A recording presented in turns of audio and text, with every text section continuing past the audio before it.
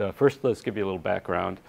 This is kind of the um, picture of where we're headed. This is from the cover of The Economist. This is kind of the iconic sense of, I mean, when I was growing up, I didn't see anybody walking around drinking something, you know, and now it's like everywhere. People always are walking around drinking something or eating something.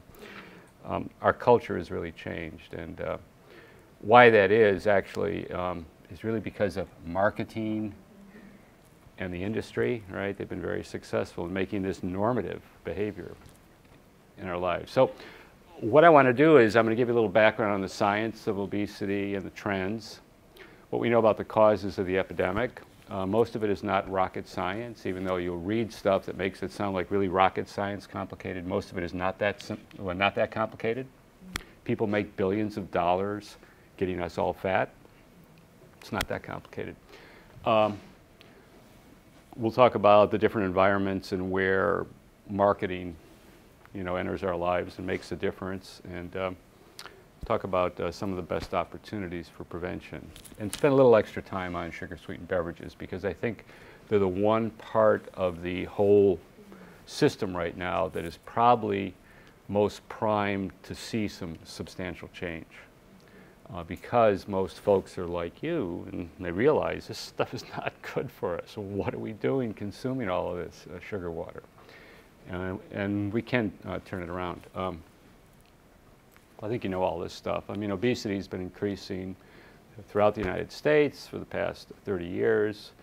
We find increases in all parts of the U.S., whether you're rich or poor. I mean, everybody's increasing in obesity. There are some differences here, though, that I'll talk about in a minute in a little more detail. Uh, probably all of you have seen these slides from the Centers for Disease Control and Prevention showing adult obesity trends. It's how many of have seen this sequence of slides. Well, about a third. I'll just run through quickly. This is uh, prevalence of obesity in 1990 among adults across states. So it's a little higher if it's darker. There are a couple of states where there weren't any data back then. But you can just go from year to year and see it increasing, like 91, 92. See how things are getting darker? 94, 95, 96, 97, 98. See, things are turning yellow. This is the prevalence of now 20% among the adult population, 99, 2000, 2001. See, it's, it's turning red now in Mississippi, 2002, 2003, 2004, 2005. Starting to get out greater than 30% in West Virginia and Mississippi now, 2006, 2007. So just in um, 17 years here, you see a dramatic increase in the prevalence of obesity among adults. Just in the last 17 years, or 18 years, you know, or 19 years. It's um, increasing dramatically. Um, actually, there's, it's funny, this one keeps on popping up in uh, Colorado. Actually, they have a, yeah, they're a little lower prevalence. Uh, it, it's actually kind of funny. Uh, uh, Massachusetts is a little lower prevalence too. I mean, the big thing in, in, in Colorado, though, is that most everybody lives at 5,000 feet. And if you live at 5,000 feet, you burn a little more energy no matter what you do. So that is an intervention. If we want to lower the rate of obesity, it's just really expensive to move, that, to move everybody to 5,000 feet. So that's what's been happening on the U.S. Now, if we look at kids, uh, here's some recent work we've done just to actually uh, point out how we may have start, started to turn a corner. Um, among kids, the percentage of kids obese has just increased from about 5%. The first studies I was doing were back around here, actually. It's increased from 5% to 17%. Um, and just most recently, it kicked down, you know, in 2006. You know, it started to move down a little bit. Um, first time in all these years you kind of saw that. Um, it's fascinating. I was at an international meeting. We have an international modeling group, and we see exactly the same downturn at the same point in time in England. It's kind of interesting. What's causing that? Uh, we think it's probably the same kind of things going on, but uh, we'll talk about that a bit later. Um, clearly there are big error bars around this. These are 95% confidence intervals. So, you know, it's like we say there's evidence for downward trend, but we're not exactly sure that that's true. I mean, we certainly see some evidence for leveling off.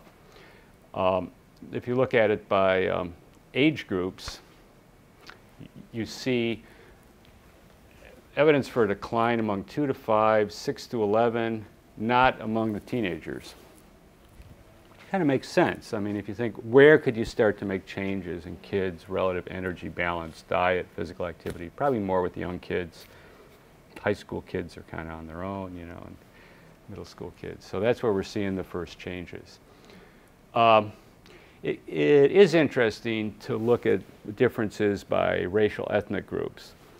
Like if you look at, um, so these show the prevalence of obesity for white, black, and Hispanic kids throughout this period of time. And you see that in the most recent period here, there's big disparities, almost two to one differences in rates of obesity, with higher rates among black and Hispanic kids. And among the white kids, things have been relatively flat. You know, if you take, if you think about these error bars, you know, relatively flat for probably, you know, seven, eight, nine years. Um, Similar sorts of things are going on among the adolescents. You see again, overall, the upward trend. But if you were to look at just the white population, it's been relatively flat for a number of years. These data are always old, by the way. You know, you always are looking at old data. We don't. The newest data will come out this uh, December for the next two-year period. And um, if you look at it by income, you see the same kind of patterns. Increasing prevalence uh, among low-income kids. It's been pretty flat among higher-income kids. So these trends are real and kind of, and uh, similar sorts of things among um, teenagers. Let's talk about what's causing this. Well, I mean, here's the stuff that's not really rocket science. Um, obesity is caused by more energy intake than you're burning off. Um, we've um, actually modeled out the energy imbalance that's been driving the epidemic. And there has been a lot of publicity about a study that appeared in Science about, I think it was about five, six years ago, where they talked about the fact that the obesity epidemic among adults was being driven by just a small uh, excess intake. They said it's on average about 30 extra calories a day. It's kind of stunning. And they said for 90% of the population, just 100 calories a day could um, explain what was happening.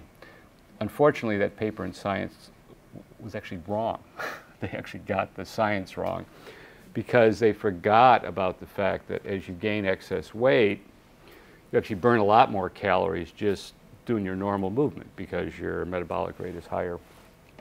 And or you burn more energy not because your resting metabolic rate is higher but because you're moving a greater mass around. It's actually a chance to use a little differential equation. Uh, and we modeled that and what we found is that actually for kids what was driving the epidemic for the period from 1990 to 2000 what was driving that increase was on average in excess of about 110 to 165 calories per day per kid. I mean, I mean, I was driving the average excess weight gain, but for kids to become obese, you really have to have an excess of 600 to 1,000 calories a day over 10 years to put on all the extra weight that you saw in the population, which for kids who become obese, they put on an in excess of about 58 pounds, I think, on average uh, during that period. So it's not just a small difference. It's a much larger difference. If you want to move someone into becoming obese, it's not just an extra 50 calories a day. It's not just an extra 100 calories a day. It's more like an extra 600 to 1,000 calories a day. So when you see one of those big gulps, you know, those 600 calorie big gulps, yeah, that's what we're talking about. We're not talking about what, you know, 100 calories or 50 calories or 30 calories. Um, this is really important because I think a lot of people have gotten fooled into thinking, all I got to do is, you know, just change 100 calories a day. It's a good place to start. But if we really want to prevent obesity, you got to have bigger changes. Um, the other thing that is really important is that social context is really important.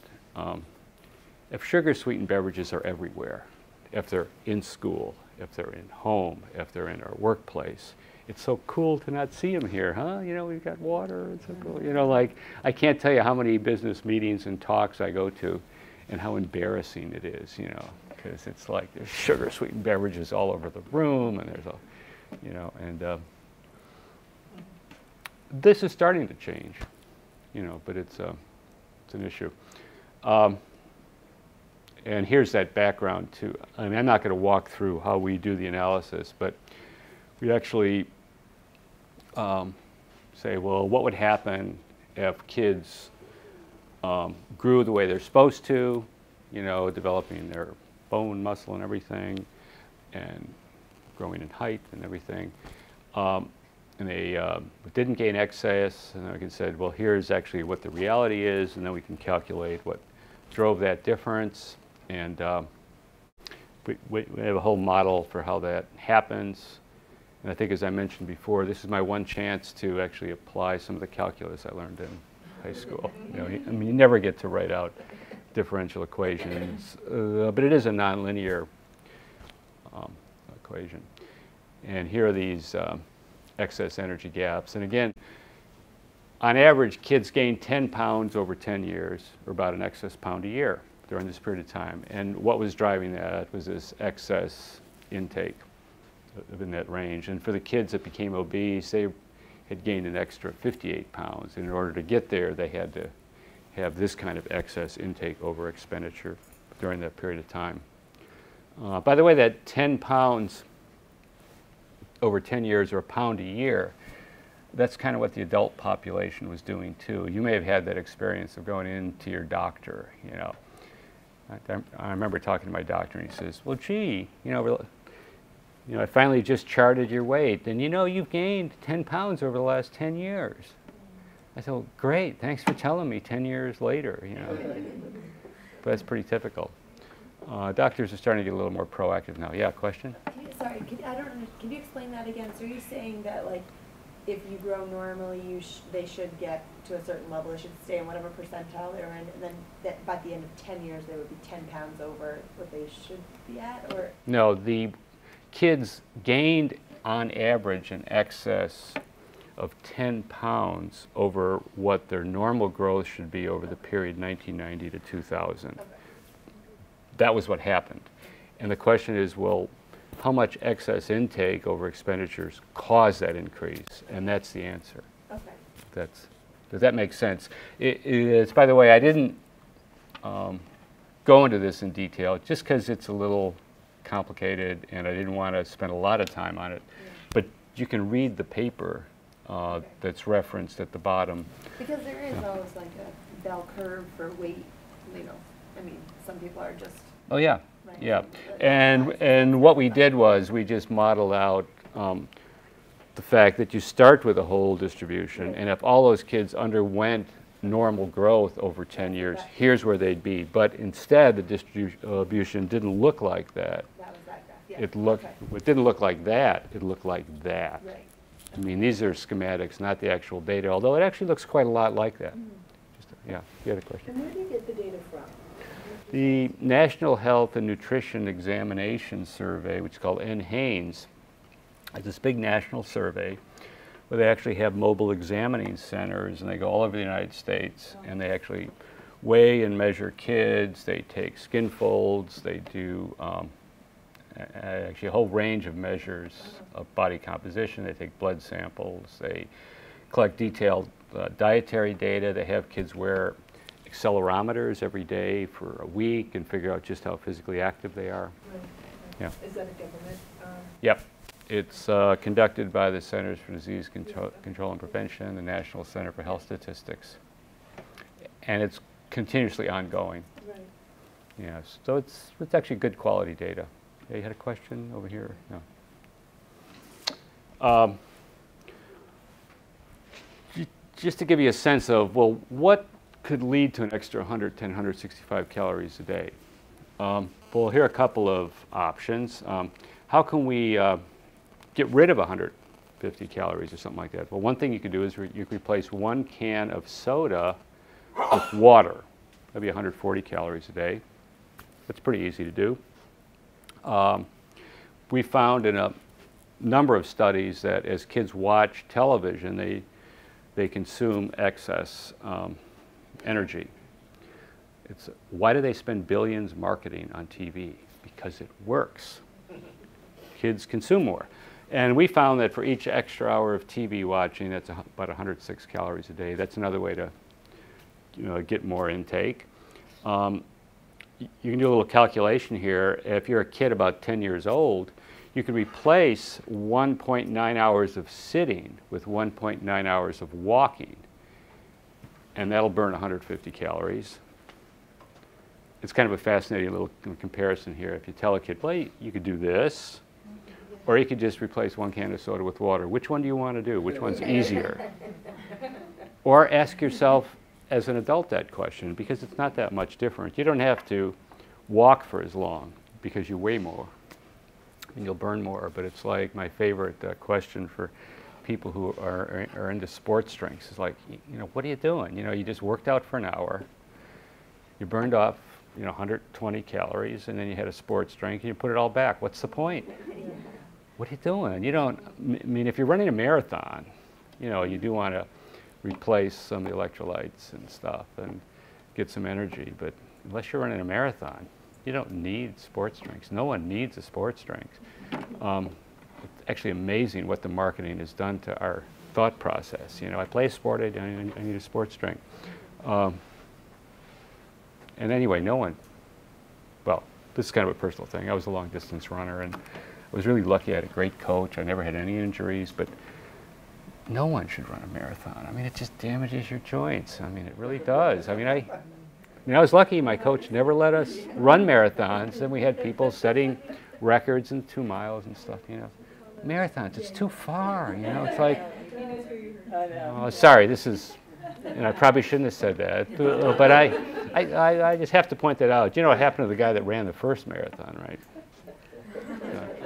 Uh, the other thing that you can do is um, increase PE from one to three times a week. That'll be about uh, extra 30 some calories a day. You know, you know, that can help and burn stuff. Um, so there are a variety of ways to sort of close that energy gap. But I think you're getting the idea that it's probably easiest to do interventions on the intake side than it is on the uh, physical activity side because it's just a little more time intensive. And yet I think both are really important. I mean, for a whole range of reasons. Also, physical activity is really good for cardiovascular health and good for mental health, a whole range of stuff. It's fun, you know. Okay, what's driving all this stuff? Well, I mean, here's where it's, it's again not rocket science. I mean, food producers, fast food industry, you know, if they're successful, we all eat more, right?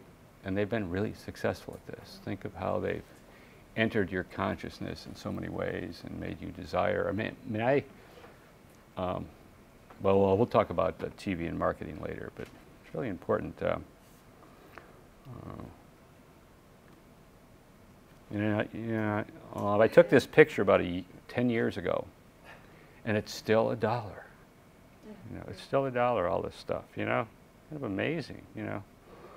Actually, you can't get all these things now for a buck, but most of them you can still get for a buck. It's amazing. You know, they've really made it easy to consume a lot of calories. Um, I love this quote from some of my colleagues at Children's Hospital. Large fast food meal, double cheeseburger, french fries, soft drink, contains 2,200 calories, which would require a child a full marathon to burn off. you know, why do we give these kids this? Well, it's a way to get that extra 600 to 1,000 calories a day you need to pile on the pounds, right? It's a, um, I think one of the more cynical things I could imagine is uh, the playgrounds at McDonald's, you know, where kids go and play for 10 minutes, burn, you know, 40 calories, and then go and consume 2,000. You know, it's like sick stuff. Um, oh yeah, that was, was kind of, yeah.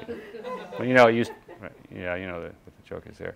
Yeah, we did a study showing well, that actually they tend to cluster fast food restaurants around schools. You actually can't tell that from the map there. I, I just thought the map was kind of cool. But um, um, we found that on kids or, or on days that kids go to a fast food restaurant, they consume an extra 126 calories a day. Kind of interesting. You know, once you walk into a fast food restaurant, you just consume extra calories. Um, I mean, this was a study where we compared the same kids on days where they did not and did go to a fast food restaurant, so it's kind of a cool study. Um, we also found that you know, actually higher income kids actually consume more than lower income kids at, at fast food restaurants. So it's not like fast food is something that only poor people engage in. No, not at all. You know, it's something that, I mean, you've probably had the experience if you have kids, you know, of, of letting your kids go on a play date with someone else and then the mom or, or the kids say, oh yeah, we went to so-and-so and we got all we could eat. And you go, God, yeah. Yeah, yeah, question? Yeah, that, that kind of counters your graph that you showed earlier with income showing that the higher income kind of balance out, whereas low income. Oh, but that graph before was on obesity, and this is on fast food. Yeah, but aren't you saying that fast food is one of the major causes of obesity? It helps to contribute, sure, but uh, yeah, they don't have to. I mean, I mean, I think that when we get into talking about, uh, for example, sugar sweetened beverages, we'll see that most of the sugar sweetened beverages kids consume, they consume at home. You know, most of the food that kids consume, they consume at home. And so definitely fast food helps to contribute in the marketing of processed food and a whole and um, uh, high caloric uh, density, low nutritional quality food is part of what we're going on, but fast food is just part of it. Most of it is actually still in the home. And yet it's the stuff that's marketed on TV that tends to alter our diet. So it's, um, I think you're right. I mean, it sounds a little odd of saying, well, but I think it's consistent. Um, all kids eat a lot of fast food, but it's still only a few times a week. You know what I mean? And uh, the difference here is, I think, um, on a given day, I think it's something like if you're poor, 25% of kids will eat fast food, and 34% of wealthy kids. So it's still a lot of kids eat fast food. Um, let's talk about uh, sugar sweetened beverages. This is my current uh, thing I'm really focusing on. I started out focusing a lot on television, and, and we'll talk about that later because of the marketing. But uh, sugar sweetened beverages, I think, are probably the one area where we have the greatest potential to make a big dent in the next uh, decade in this epidemic. Um, there have been some nice um, review studies which have reviewed a huge body of evidence which shows a direct relationship between sugar sweetened beverage consumption and excess weight gain, increased risk of obesity in youth. And here are the three reviews. One interesting aside to this, two separate studies, um, I, I, don't think I show it here, two separate studies indicate that industry financed research tends not to show a relationship between sugar sweetened beverage consumption and obesity, and non industry funded research shows a big relationship. This is actually a huge issue. It's kind of like the drug industry research. Um, and uh, uh, there's a lot going on here that's kind of really undocumented. Um, but there are two studies, and the Vartanian study actually shows this. It's in the American Journal of Public Health. You know, industry-funded studies tend not to show a relationship. There are lots of connections here. Um, you mentioned uh, Coca-Cola as a favorite beverage. You know, Coke is one of the big, uh, of course, industry players. Um, they have a foundation arm called the, the, um, the International Life Sciences Institute, ILSI uh, better known as uh, the Coca-Cola Foundation. Um, they actually fund a journal called Nutrition Reviews. Yeah.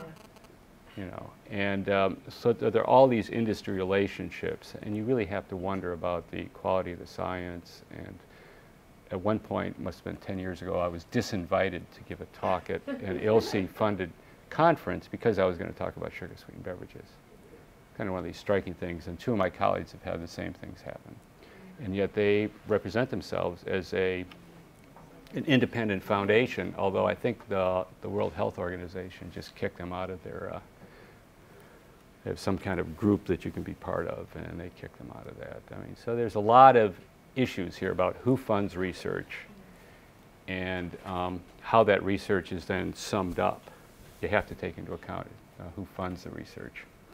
Can't trust it all. Which is a tricky issue, actually, as you know from the world of drug research. And this is the kind of stuff that I get a little worried about putting on tape. But I won't tell you any more stories about it. Um, we did this study actually back in um, 2001 in the Lancet, which showed that as kids increased their consumption of sugar sweetened beverage, it led to a direct increase in obesity. And this was the first study showing this in kids. And it's interesting because of all my research, this is the most highly cited study. It's got over a thousand cites now. Interesting.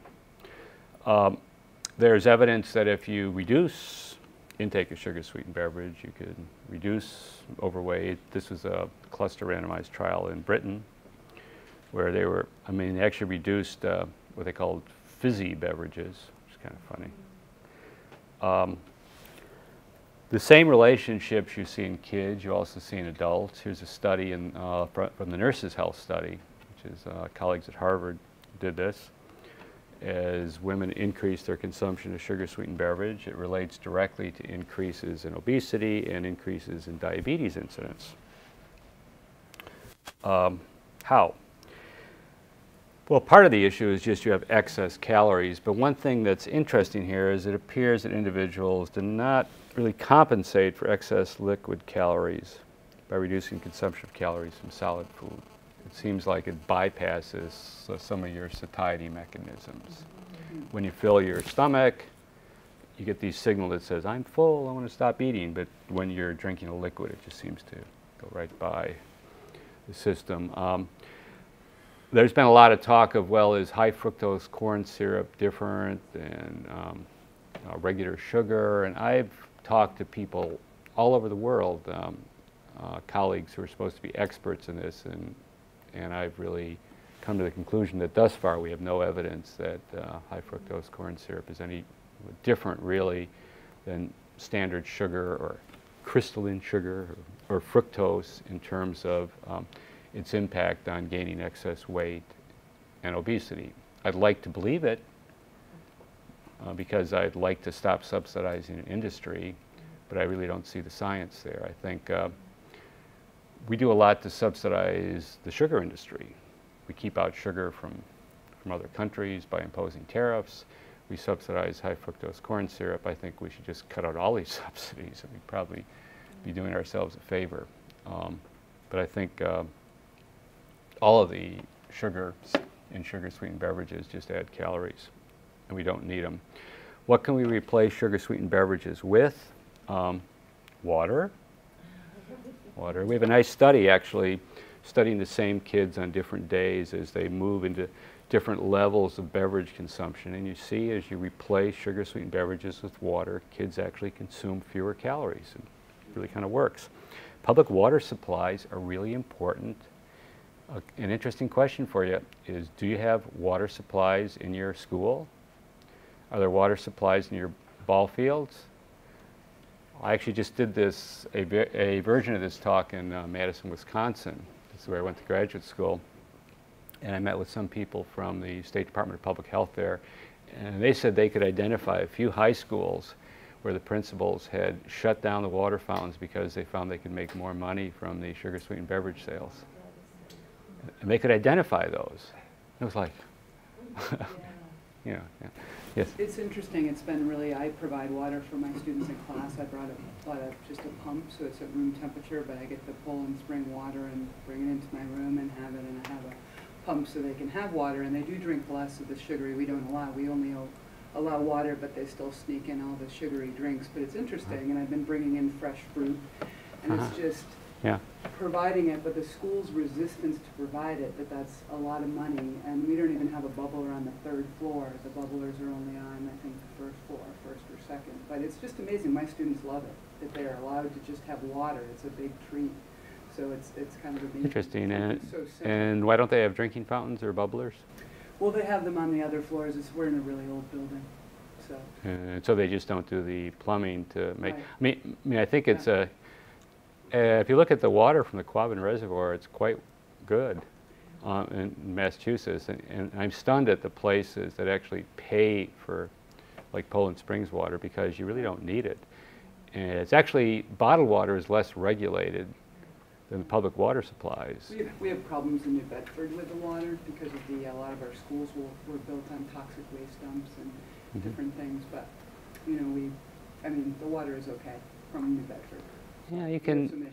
You could have it tested. It, um, actually, we're doing a little project like this summer with the school system, really to help them move from paying for Poland Springs water to move to uh, uh, Quabbin Reservoir water. And I think you just have to do some testing. And uh, Yeah.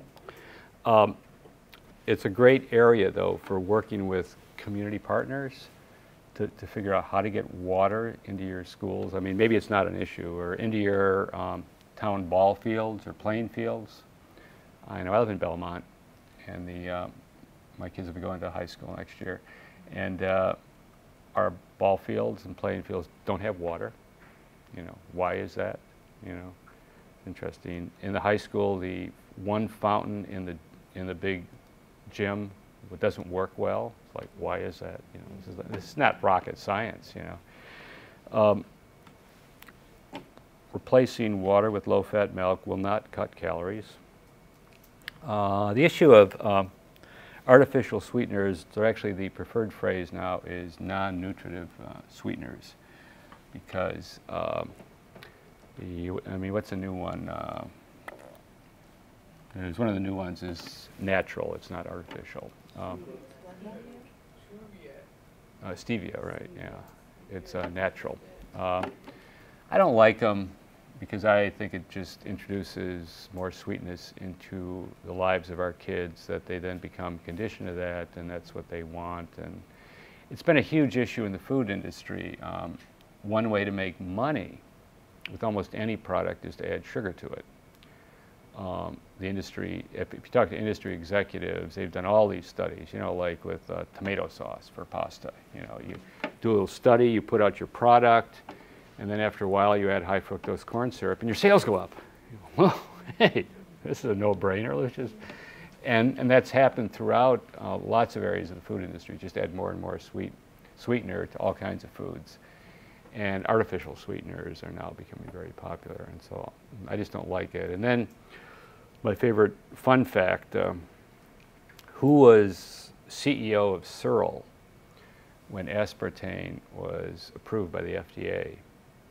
Aspartame, I, it's kind of a sleazy process with kind of questionable data.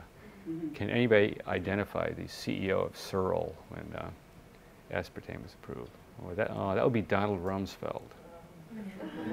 I'm sorry, if I'm not a Republican, so I, I always like that kind of fun fact. Okay, um, more about sugar sweetened beverages. Um, where do we consume them? And what do we consume? Well, I mean, these are data for kids. This is an article we published in 2008. And let's talk about, I mean, this age group here, the 12 to 19 year olds. Well, first of all, the thing that's tricky is kids consume lots of different kinds of sugar sweetened beverages. Um, and if you add them all up, you get like the 320, 340 calories a day. So remember what I was talking before about uh, what was driving the obesity epidemic, this extra 150 calories a day, or if kids become obese, the 600. Well, you see where a lot of this is coming from? Isn't that kind of stunning? It's because there are so many different varieties of sugar sweetened beverage. When we uh, went into the NHANES database, uh, we had to code about 450 different beverages. There's a lot of them there. Um, there's soda, which is still the biggest chunk. There are all the different fruit punches we call or fruit drinks or juice drinks or you know there's endless varieties. Sports drinks are still a relatively small category, but they're the fastest growing group. Then you have other sugar sweetened beverages and 100% juice, which is a smaller thing for teenagers. It's a bigger issue for younger kids. So lots of different sugar sweetened beverages, lots of different forms. It's all the same stuff in the end. It's sugar and water. Um, where do we consume them? It's interesting, you know, kids um, on weekdays consume some of those sugar sweetened beverages in school. You know, that's the yellow. But overall, it's only about 10, 12% of the sugar sweetened beverages are consumed in schools. The number one place would be at home. After that, I suppose, mm, other people's houses, and then fast food restaurants and school and um, on the street, I don't know, a range of places. But home is still the major spot. So if you want to make changes, you can talk about some very simple things. Just don't bring them home. Uh, how much sugar sweetened beverages do children consume? I just actually calculated these kind of data about a few months ago. It's kind of cool.